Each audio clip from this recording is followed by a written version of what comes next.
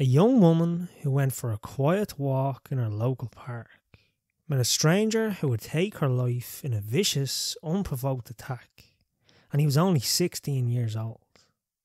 Today's case brings us to County Cork, and specifically Cork City, a beautiful place with friendly people. The best way to experience this hilly southern seaport is on foot. The sights and delights of the city can be covered in around 20 minutes. Cork is considered to be a very safe place to live, but unfortunately, crimes and criminals, similar to today's story, have plagued smaller counties and towns alike. This brings us into the background of the Kiely family. Living in Cork City in the year 2000, in the small suburban estate, Ballincollig, John and Rose had married many years previously, and they had four children together three girls and a boy. And what sets this family apart was their faith. The Kielys were members of the small community of Jehovah's Witnesses, who were in Cork at the time, and it was very important in their family and day to day life. Their daughter Rachel was involved in the local congregation, and she was devoted to her faith. And after leaving secondary school in Ballincollig Community College, she began training as a beautician in part because she knew a career in that sector would leave plenty of time for her to do missionary work with the Jehovah's Witnesses. And this was something she was very passionate about. In the summer of that year, she made a trip to Italy with her sister, where she worked for a short period of time as an au pair, but soon the two girls returned home.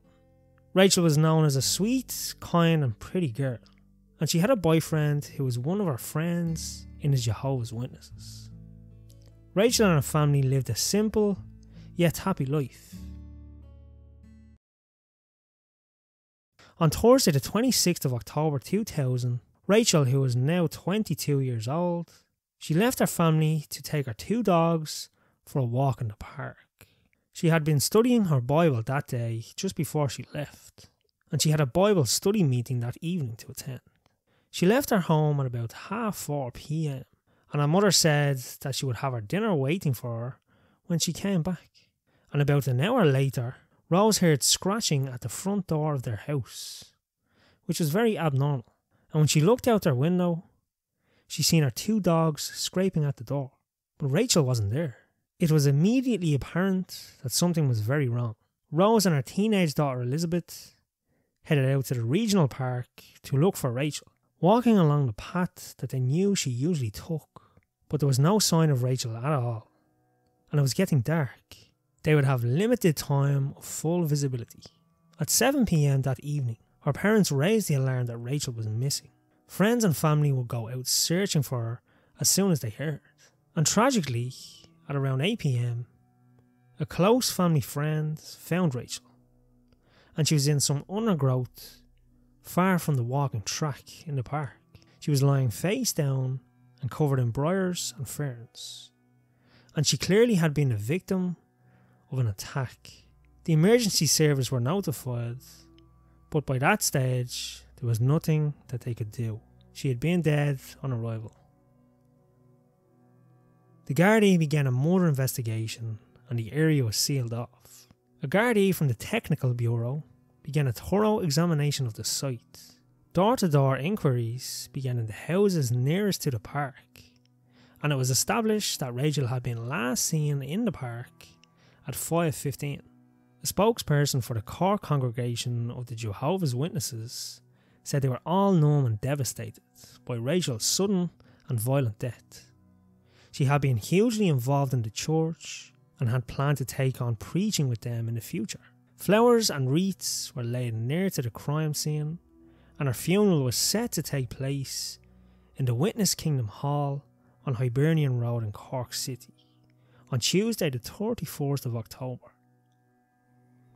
The funeral was attended by most of the 200 fellow Jehovah's Witnesses, as well as members of the faith from all over the country. It was led by her uncle Max, and she was buried in St. Oliver Cemetery on Saturday, the 28th of October.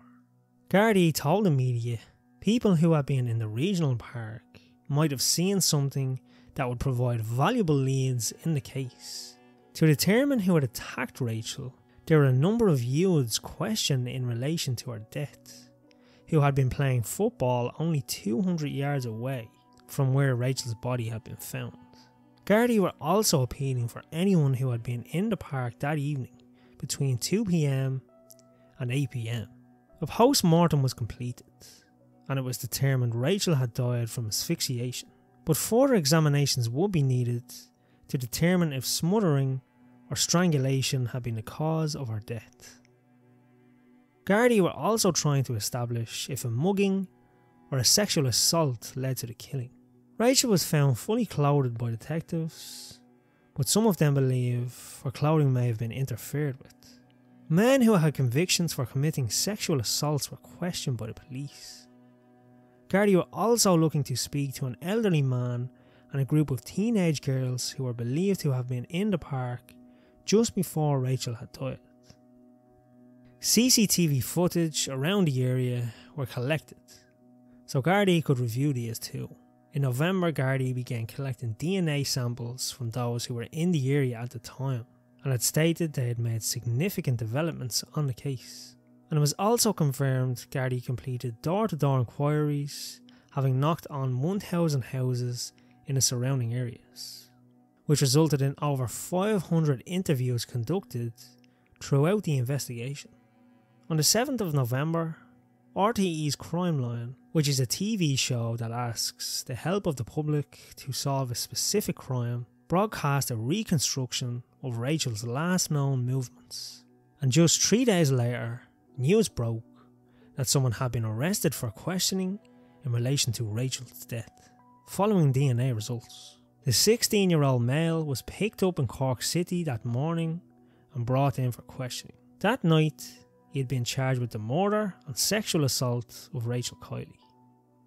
He could never be named for legal reasons at that time, but it was reported he was from the local Ballincollig area.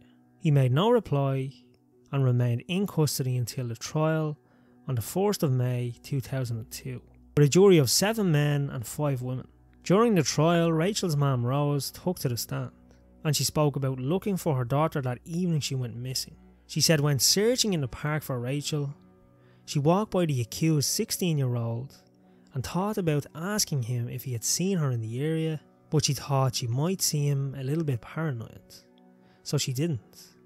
Four young men who had seen the accused on the day were also to give evidence. They said he acted normally. They had all met that evening at about half past six at a friend's and they watched TV. He was just the same person. He was his normal self, watching TV and chatting away. After that, they had all gone to the regional park to go on their motorbikes, but they left shortly after as there was a lot of Gardaí in the area. They continued on saying he didn't seem on edge or anything, he was just his normal self. A doctor then took to the stand, and he had been at the scene of the crime. He said the position Rachel's body was in was not natural, and suggested Rachel was dragged to where she was found in heavy undergrowth. It looked to him as if she had been placed there, and an effort was made to try hide the body. Semen was found on Rachel's clothing and was consistent with the DNA sample provided by the defendant. She said there was 1 in 16 billion chance that the DNA might be from someone else. Rachel likely tried to flee her attacker, where she was cornered, then strangled and assaulted. And in defence of the accused 16 year old boy, his mother and father spoke in court, saying he didn't have anything to do with the horrific crimes that took place that night. They went into the background of their son, saying he left school when he was 14, after the school informed the parents he would be better off. It seemed the school they couldn't handle him anymore. And finally, the accused 16 year old spoke. He said he knew Rachel to see and he went to school with one of her brothers. He said on the evening of Rachel's death, he called to his girlfriend's workplace and he collected her. He then recalled a Gardaí visiting his house a week before the murder, and they handed him a warning as he was caught dangerous driving on his motorised bike. They said he could do three years in prison if he was caught on his bike again, but he went out on the bike the very next day. He continued on by saying the last time he saw Rachel was a month ago, and that he never had any close contact with her. On Tuesday, the 18th of June, the seven men and five women returned with their verdict. The defendant was found guilty of Rachel's murder. He was sentenced to life for her murder, and for the sexual assault charge, he was sentenced to an additional 10 years. As the accused was now an 18 year old man, the following day after the guilty verdict, Ian Horgan was named in newspapers and news outlets all over Ireland and County Cork. He was the eldest of four children in his family and he had been working in a factory before his arrest. He lived just around the corner from Rachel and shockingly, he had attended her funeral in the days following her murder. Rachel's family were pleased with the decision, but they got no real closure as they had lost their little girl. In January of 2004, Ian Horgan would appeal to the courts. He argued his judge's directions had been misleading and that the jury were not told valuable information regarding forensic science, which would have been in the interest of the defence. The court agreed, and Ian Horgan's conviction was overturned. He was then released on bail, and a retrial was then ordered, which began in February 2006. Ian Horgan pled not guilty to the murder and sexual assault, but he admitted to manslaughter. The jury returned on the 10th of March, and this time, Ian Horgan was found guilty of sexual assault, but found not guilty of murder. He was instead convicted of manslaughter. And shockingly, Ian Horgan was given an 8 year sentence, and 6 of those years were suspended, leaving him with 2 years this came as a massive blow to the family. They felt there was no justice handed down for their daughter, and the very lenient sentence was disappointing to say the least. The public were outraged with this, and there was an appeal. The prosecutor said the judge put too much weight on the defendant's age, which in turn reflected on the light sentence handed down to Ian. The Court of Appeals agreed, and they said the court is of a view there is a demand that a sexual assault case accompanied with violence, which carries a risk of death, must be seen as a very serious offence, and therefore must attract a sentence in a higher range. The appeals court decided that a 12 year sentence for each charge was more appropriate in this case. Rachel's family were satisfied with the sentence and said nothing will bring their daughter back but the sentence given reflects the crime committed more accurately. And Ian Horgan would be sent back to the Midlands prison to serve out the remainder of his years. But this wouldn't be the last time we would see Ian Horgan in front of a judge. As the same year, Ian was up in court on the robbery of a post office in 2005. Ian had been out on bail at the time, awaiting the retrial of the murder of Rachel Kiely. He had entered a post office in a rural area in County Cork and he was armed with a slash hook. The elderly couple who ran the shop opened the door to him and he robbed the place. And when he was leaving, the couple's son arrived. Ian threatened him and stole his car to make a getaway. He made off with 1,500 euro and rolls of lotto scratch cards. The stolen car was found soon after along with the slash hook he used to rob the post office and a kitchen knife. DNA was found in the car and it linked Ian to the robbery. At the trial, he denied any involvement, but the jury found him guilty as charged and sentenced him an additional 8 year sentence for this offence. And later, he would appeal it. And yes, he won this appeal also. On the grounds the Gardaí did not have a proper warrant to search his home at the time of the robbery. He got yet another retrial for this, and a lesser sentence of four years was handed down. In 2013, Ian was released from prison and he moved in with his girlfriend in County Limerick. He was then arrested again in relation to a shooting in Limerick City. The victim was hit in the chest with shotgun pellets and he survived the attack. When Ian was arrested, he was found with shotgun residue all over his hand, but he said he was shooting in the woods with a friend and he pled not guilty to the offence of possession of a shotgun with the intent to harm. He was found not guilty for this offence, but would soon find himself back in prison. He was soon arrested for an armed robbery and given a four year sentence for this. And in 2016, he was released, and six months after his release, drugs were found in his home after a search, and he was linked to another armed robbery. In 2018, he would appear in court for the drugs found in his home, and he was sentenced to two years and three months for this. Then in December of 2018, he was in court in relation to the robbery he was accused of. Six months after his release, he pled guilty and he received a six year sentence with two suspended. And Ian was unfortunately released from prison in 2021 to continue committing his crimes.